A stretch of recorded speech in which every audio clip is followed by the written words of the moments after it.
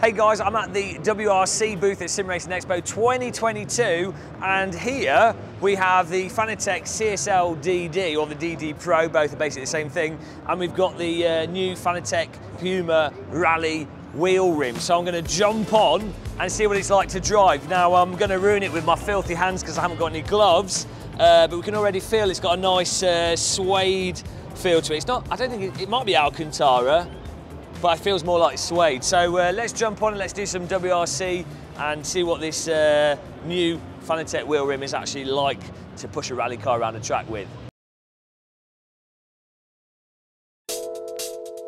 Okay, so jumping into the rig here and we've got the uh, wheel rim in our hands and the first thing you notice is the actual shape of the wheel rim and the feel of it. Obviously with this nice suede or, I think it is suede, not Alcantara, you have that kind of luxurious feel going on.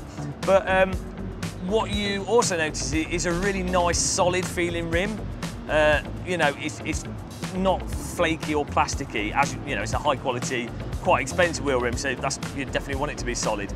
Um, what really stands out though, um, and what I didn't notice initially until I just jumped on now, is the um, actual moulding and shaping of the, uh, the sort of uh, grip part of the rim. So you've got these really nice hand grip part of it, which sort of, you can put your, your edges of your hands here to use the force, so you're not having to grip the wheel too hard, but then your thumb's got a really nice place to go into the wheel rim, which feels great. Um, and your, your hands sort of just naturally rest comfortably onto the onto the rim and sort of they fall into a position that makes sense and just feels nice.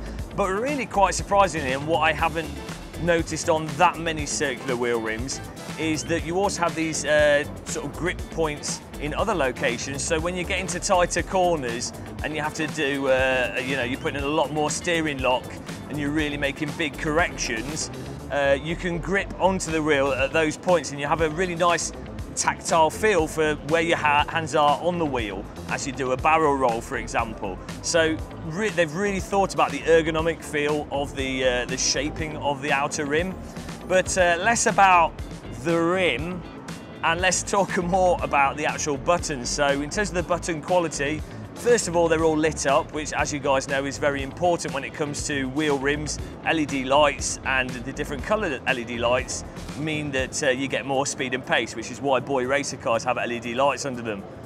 Um, the buttons themselves, though, obviously the different lights make it easier to know which button is which. You'll presumably, I think you'll be able to customise which colours are on the button, but uh, you, can, you know, you can just visually see without looking what is what. Um, in terms of button feel, pretty standard, you know, nice uh, positive click, not, not soft, not too hard. You, are going to be able to feel that actuation if you're wearing gloves or if you're a naked hand racer.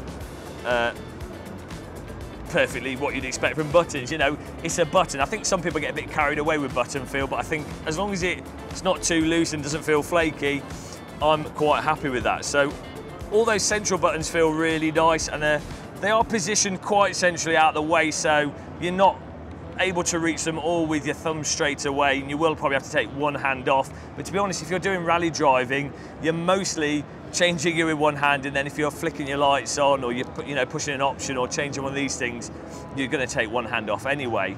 Um, in terms of the uh, rotary encoders, they are actually really quite stiff, so uh, takes a little bit of effort. For my preference, it's a little bit more effort than I want, and also it's got a slight there's a little bit of a spongy feel to the rotation. So I'd say these rotary encoders are not as satisfying as rotary encoders that you get on like some of the uh, like the Ascher or the Gomez wheel rims, but uh, perfectly fine and functional. Uh, but I think the rotary encoder could be uh, there could be a little bit tighter feeling. Functions there though, and I think that's the main thing that matters. Uh, that's pretty much it in terms of in terms of all those options. Obviously, with it being a Fanatec wheel rim, you've got the uh, quick button where you can then push it and then go through your wheel settings, which is really nice with Fanatec stuff, especially if you're playing on games console, jumping from game to game. You can push the button, change the wheel rotation, change the sensitivity, change the strength of the force feedback, all there from the wheel rim. But uh, yeah, you know, absolutely fantastic. Lastly, outside of the uh, overall wheel rim component, you have the uh, quick releases that they've got on here. Fanatec have got some of the new QR2 stuff on these wheel rims, but they're kind of not really showing it off and we haven't been able to really get in there with them. Um, The main thing is this is using the uh, booster pack on the CSL DD or the DD Pro and uh, there's no wheel slip or movement. A little bit of movement side to side if you push actually, but the actual rotational movement is uh, totally rock solid. Uh, some of you, if you use a CSL DD, when you've got the boost pack, you'll know that uh, unless you tighten the screw up on it, there can be that clicking thing. So this doesn't seem to have that, and I don't think it's got the locking screw on it. So yeah, it's going to be uh, interesting to see how well received these are. Hopefully I can get one of these wheel rims at home.